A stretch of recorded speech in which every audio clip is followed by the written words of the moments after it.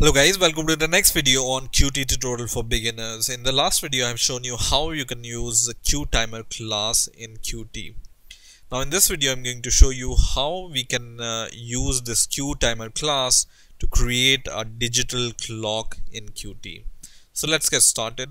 I'm going to uh, you know use the last example which I have uh, shown you in the last video which was QTimer and in that example what I have done is I've created this sample project.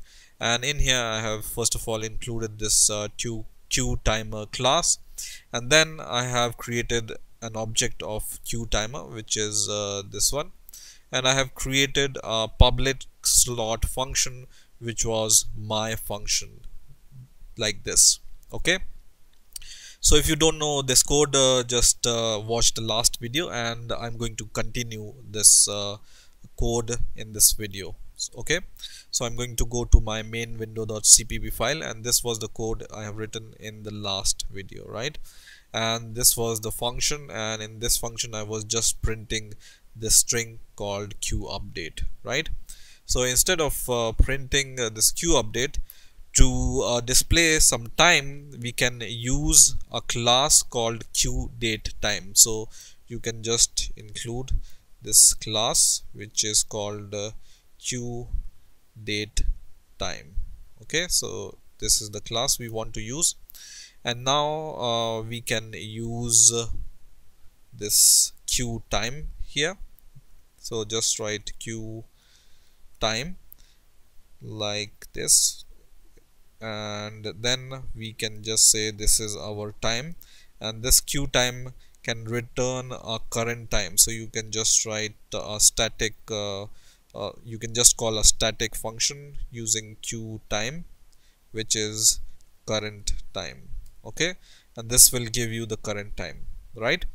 And then first of all let's uh, uh add a label here. So you can just go to main window.ui file here.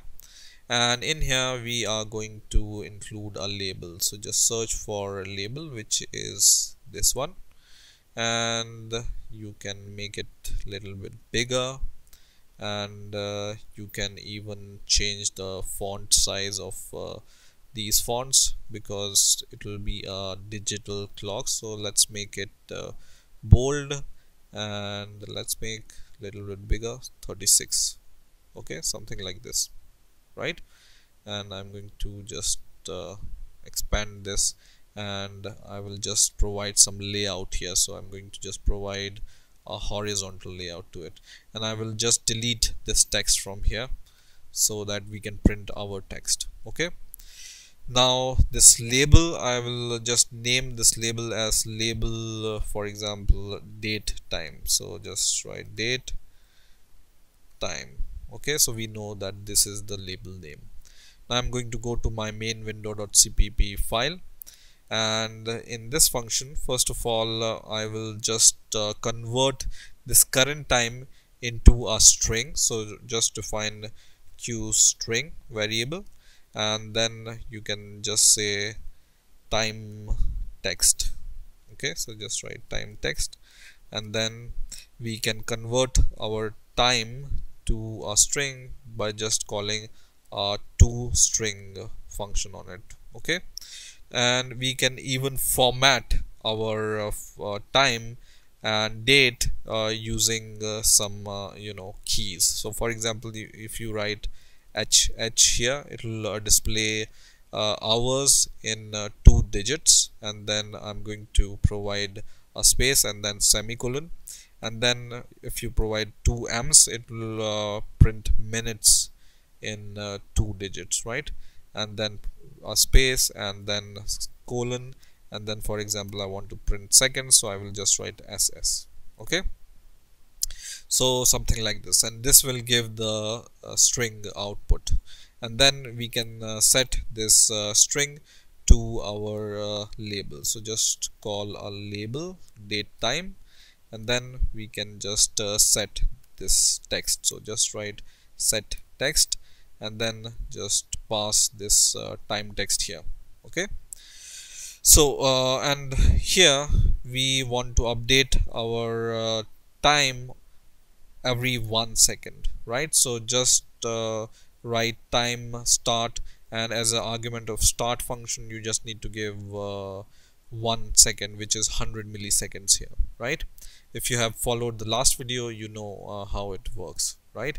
So let's uh, compile our code and let's run it and let's see if it works or not. So you can see our uh, time is working.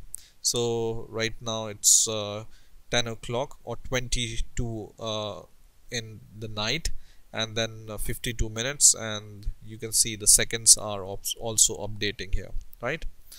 Now if you want to uh, make it little bit more fancy what we can do here is uh, we can uh, for example we can give a if condition here and then we can just call this time object and we can just say time dot second. So it will give the second value to us and then we will provide a modulus of 2 so we will see uh, if it's a modulus of 2 or not and then we will equate it to 0 so we are just taking the modulus and if uh, the second is even we want to for example uh, disappear these colons in between. And if uh, this uh, is odd number we want to show them for example something like this right? So you can just take this uh, text which is a string right? So it has some index. So the index start from 0 so 0 1 2 3 right? So the colon index of colon is 3 here. So you can just write 3 and then you can uh, just set a text here. So for example I want to just set a blank text, text instead of uh, this colon right?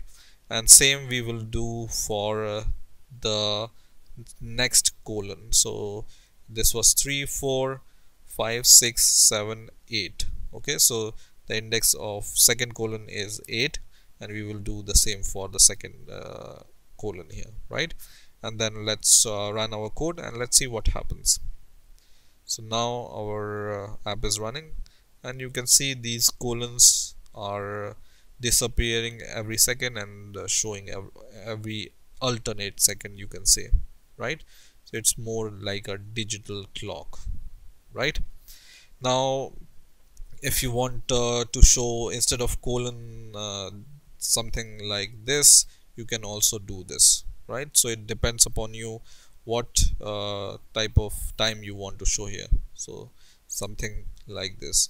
Or uh, you can format it something like this also and it will be the same. Time will be same but it will just add this uh, forward slash here.